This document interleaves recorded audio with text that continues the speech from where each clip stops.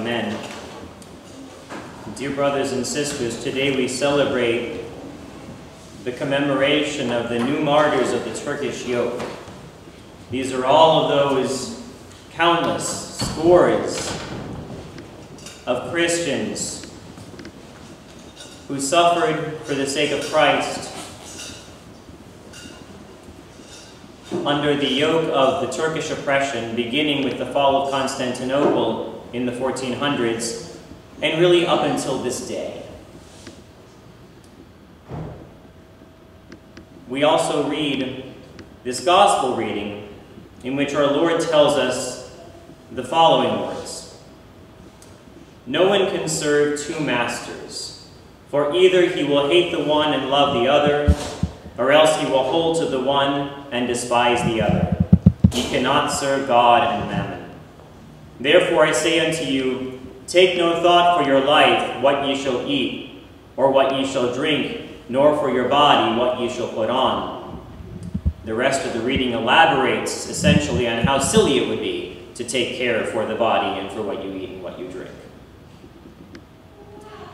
These commemorations, this gospel is connected to the martyrs. And I, I think by the time I finish, maybe you'll see how. It's an important principle.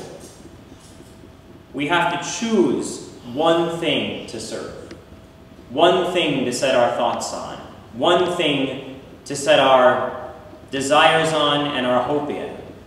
Abba Isaiah says, As one eye cannot look heavenward and the other earthward, you can't look up with one eye and down with the other one. So the mind cannot combine cares for the things of heaven with those of earth. In other words, we can't be focused on satisfying our passions on the earth and also be serving God. We are going to come to a point where we have to choose in a particular moment which one we serve because they're going to demand opposite things of us. So if we delude ourselves that we are serving both, look closer. When push comes to shove, which do you choose? And the answer typically is whichever one your thoughts are on more often. Whichever one you're focused on more often. Whichever one you really yearn for. Our Lord in this gospel singles out mammon. He says you can't serve God and mammon. What is mammon? It was old, an old Egyptian god of wealth. There's many things that get between us and God. There's our various passionate desires. There's food. There's power, control over our lives. And there is riches. Why does he single out riches to be the one to focus on right here? The answer, according to some of the fathers, is that riches lead to every other passion. Once you allow yourself to be enslaved to the desire for riches, you fall into everything else as well. St. Basil says, Wretched is the one who demands much. Much demanding creates in life an insatiability of desire. A fire has taken hold that consumes all that is to hand, and no one can stop it until it has burned everything up. So it is with avarice. Is there anyone who can stop it?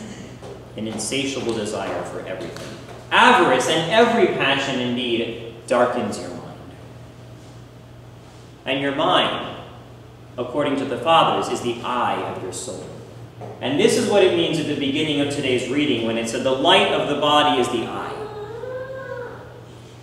If thine eye therefore be sound, thy whole body shall be full of light. But if thine eye be evil, thy whole body shall be full of darkness. And if the light that is in thee is darkness, how great is that darkness? What the eye is to the body, the source of sight, that guides our body on its path throughout this life, without which it's much more difficult to walk that path. The mind is for the soul. The mind is the guide for the various powers of the soul, directing them in the right direction. Without a sound mind, it's really, really hard for your desires and your heart and your feelings to point in the right direction. The mind here, I believe, is a translation of that, that central part of the soul, the part that is able to directly experience God, not so much the, the reasoning power. But if it's darkened, your soul's in turmoil. But if your mind is pure, it keeps your soul pure.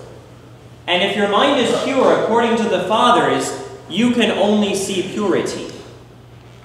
Blessed are the pure in heart, it said, for they shall see God. You can only see purity. There is purity and there is impurity inside you. But if your mind is pure, you'll see past the impurity. You will focus on the purity. It says somewhere in St. Paul's writings to, to, the Philippians, whatsoever things are good, whatsoever things are, are beautiful, think on those things. If your mind is pure, you will not only, only see purity as you look at, at yourself, you'll only see purity as you look at the world, as you look at the world around you. Here's a litmus test for you. As you look at the world around you, what do you first notice? Do you notice all of the problems? Do you notice when looking at another person what's wrong with them? Or do you see what's beautiful in them? This beautiful element of God's creation in everything you see around you. That's an indication of how pure your mind is. One of the other saints gives this analogy in a big field full of beautiful flowers with a garbage heap at the side. Where do the bees go? They go to the flowers to get the nectar. Where do the flies go? They go to the garbage heap. Which one do they see? Which one do you see as you look at the world around you? The new martyrs, I promise there was a connection here, right? The new martyrs illustrate for us this notion of keeping your mind pure and what that does. I'm going to read you a story or tell you a story rather, from the life of the new martyrs Nicholas, Stamatios, and John. These were residents of one of the Greek islands. On towards the off, off the eastern coast of Greece, and they were merchants. They were not, not wealthy, not that well-to-do, but they were merchants and they traded by sea in the Aegean Sea. And it happened once that there was winds and storms that caused their boat to run aground on the western coast of Turkey in the year 1822. So the western Turkey at that time was, was ruled by the Turks, hence the name Turkey. Well, they landed there, and they knew it was a dangerous place, being Christians, to have landed. So they sought out a Christian family.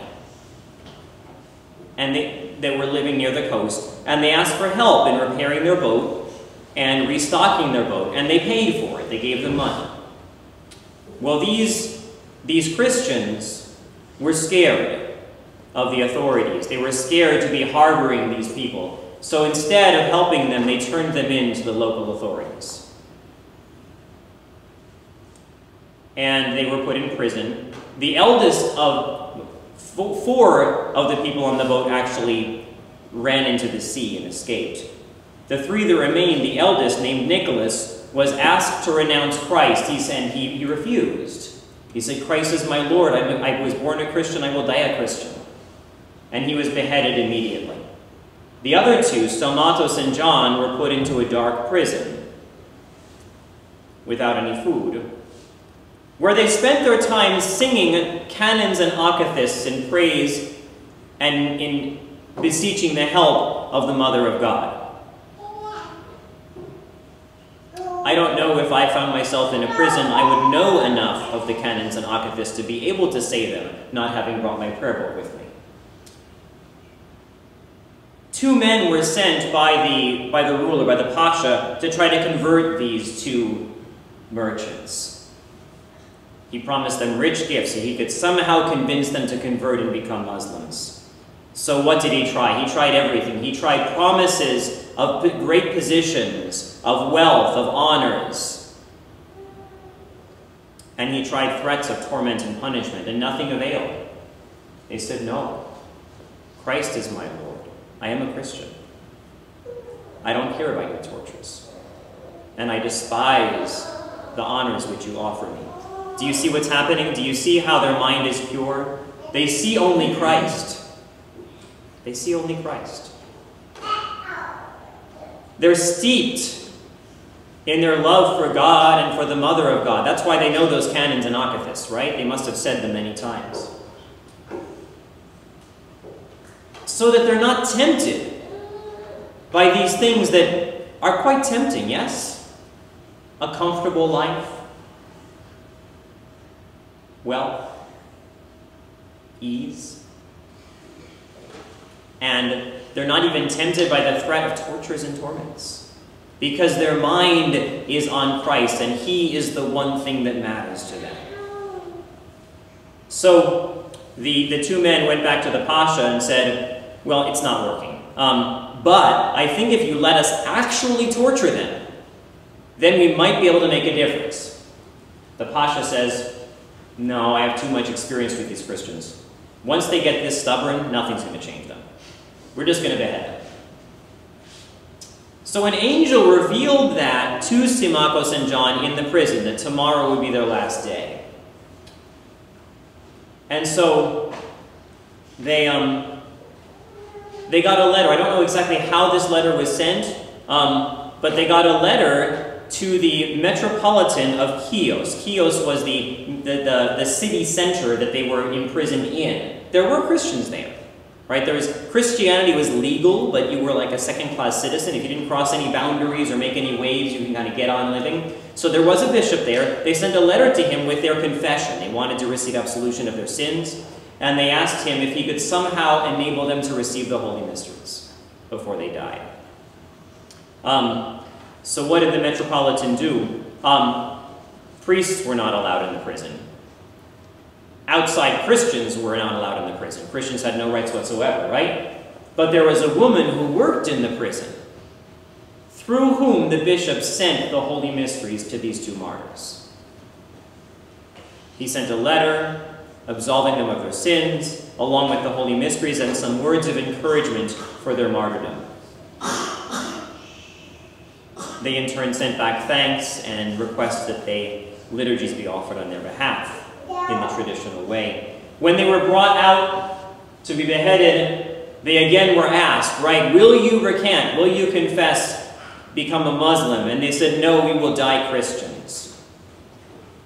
And then the soldiers began to brandish their swords, right? And John began to get faint-hearted. And his, his countenance changed, it says. Well, Symmachus said, what are you thinking? And encouraged him, right? So they both again loudly proclaimed Christ they were beheaded, and their bodies were left lying there, scorned, ignored. Christians walked around and were scared to do anything. Were scared to take. There were some Christians who felt felt that they should be buried properly, right? But they were too scared to do anything about it, too scared of the authorities. Some other Christians were forced by the Muslim authorities to drag the bodies through the streets, put them on a raft, and shove them out to sea. Others looked on saying, I don't know what they were saying, but they didn't do anything because they were scared. Instead, they asked a Christian man, a lover of God and a lover of the martyrs who lived by the seashore, to watch for their relics to see if they should wash up in, a few days later so they could bury them properly. So this man, George, indeed, um, he was a tanner, he indeed watched the sea, and he did see the relics wash up several days later. Glory to God. And they found them, and they gave them proper burial. There are many Christians in this story, but there are only a few martyrs. Martyr means witness those who witnessed to their faith, those who chose their faith. When that moment came, when the demands of their conscience demanded something different than security in this world did, they chose Christ. They chose their faith in that moment. Why? What makes the difference between them and the others? I would submit to you that perhaps it is because they had a pure mind. They had a mind which was focused uniquely on Christ. They were not attempting to serve two masters, God and mammon. The bishop was a good witness. The woman working in the prison, who risked much to bring the mysteries to them, was a witness. Stimachos and John were witnesses. Where would you be? Where would I be in this story? I hesitate to try to answer where I would be in this story. But I must ask, because it is not inconceivable that we could find ourselves, each one of us in this room could find ourselves in a situation like that, where we are facing a choice of whether to witness to Christ or whether to do what someone in this world demands of us for the sake of comfort, for the sake of wealth, for the sake of our bodily integrity and security, for the sake of a job. Are we willing to confess Christ and to live according to our conscience? If we want to be, I would say the way to get there is to work on purifying our minds. And so I'll say what we say probably 20 times a week. Read the gospel. Read the lives of the saints. Read the lives of the new martyrs. Pray the akathists and canons that these saints knew by heart. Just pray. In any way, right? Test yourself and see throughout the course of a day, how often are your thoughts on God? And if they're not, it almost doesn't matter how you do it, but make your thoughts be on God more often. Through something. And He will take care of you. As the Apostle Paul said in the second epistle reading, nothing shall separate us from the love of Christ. It says in the Old Testament, For the eyes of the Lord run to and fro throughout the whole earth to show himself strong in behalf of those whose heart is perfect. To him be due all glory, honor, and worship, to the Father, and to the Son, and to the Holy Spirit, now and ever, and unto the ages of ages. Amen.